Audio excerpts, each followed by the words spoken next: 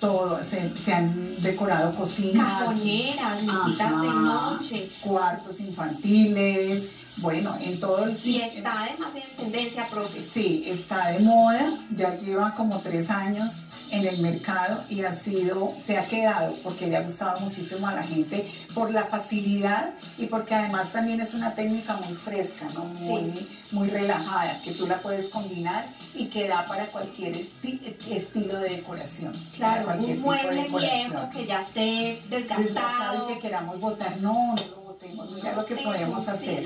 Súper chévere. Además se le pueden cambiar los herrajes y ya tienen ahí otro proyecto. otro proyecto nuevo. Qué Como se, y se evitan irlo a comprar porque son bien costosos. En las tiendas de antigüedades los venden bastante costosos. Eso pensando en las amas de casa de pronto Ajá. que tienen el tiempo para hacerlo, pero si no para el negocio, Claro, perfecto, también perfecto. O si no, pues las esperamos en la escuela para que aprendan todas las técnicas de restauración en todos sus con muebles. invitación y todo.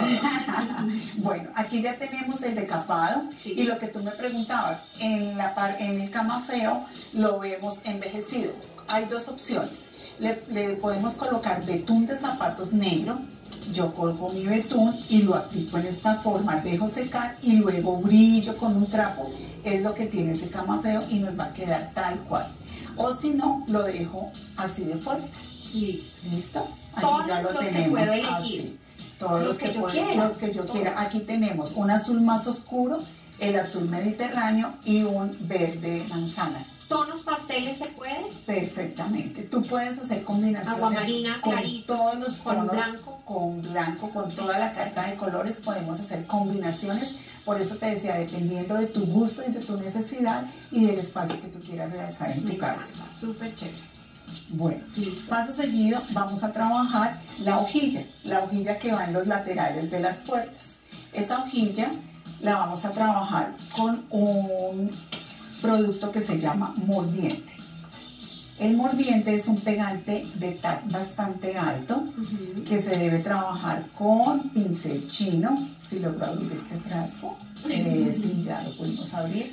Entonces lo trabajamos con pincel chino y para que nos dé la hojilla un efecto de martillado como se ve en las puertas laterales donde están las mariposas, lo voy a trabajar en forma ponceada. Lo vamos a aplicar en esta forma. Cargo mi pincel y voy ponceando para que me quede la textura gruesita del mordiente. ¿Por qué el nombre, mordiente? ¿Para qué más se utiliza? Nos sirve para adherir todo tipo de papel sobre madera, desde una servilleta hasta papel de regalo, papel craft, papel de decoupage profesional, eh, papel español, eh, lámina de pastillaje decorativa para madera. Te permite pegar todo lo que tú quieras sobre una superficie rígida y nos permite también pegar tela sobre madera. También nos sirve para pegar tela sobre madera. Y el punto de tac es bastante alto. Entonces, cuando está húmedo, el producto es lechoso. Sí. Y cuando él está seco, el producto ya se pone transparente y cuando tú lo tocas no se te queda pegado en la mano. Si tú lo tocas acá, está húmedo y te, queda, te quedan residuos en la mano del producto. ¿Alguna contraindicación para utilizar este producto? Eh, no, la única con... Ah, bueno, la idea es que utilicemos siempre un pincel chino, Sí. en este caso específico para no dañar los pinceles de celda suave. Y siempre que terminemos, llevarlo al agua y lo lavamos con un poquitico de barsol. Si las manos me quedan contaminadas del producto, con un poquitico de barsol, luego jaboncito y agua y ya, y cremita de manos, para no tener ningún problema. Entonces aplicamos en toda la superficie, en esta forma ponceado, el mordiente. ¿Al cuánto tiempo va a estar transparente y seco? Más o menos unos 15, 20 minutos, pero este producto, como te decía, y todos los que trabajamos en clase, por eso utilizamos el secador de cabello para acelerar el proceso y que las alumnas puedan llevarse sus proyectos, si no terminados, por lo menos avanzados y ta- con tarea para su casa. Para este proyecto lo necesitamos seco Sí, claro. El, el mordiente siempre se utiliza para todos. para todos y Seco. debe estar seco, no Listo. puede estar húmedo. Entonces acá lo tenemos ya. Está listo. ¿Te das cuenta lo que yo te decía? Acá tenemos el producto lechoso, húmedo y acá está seco. Mira, tú pones la mano y no se te queda pegado, pon la mano ¿sí? y tócate los dedos. Ah, sí, perfecto. Queda perfectamente seco.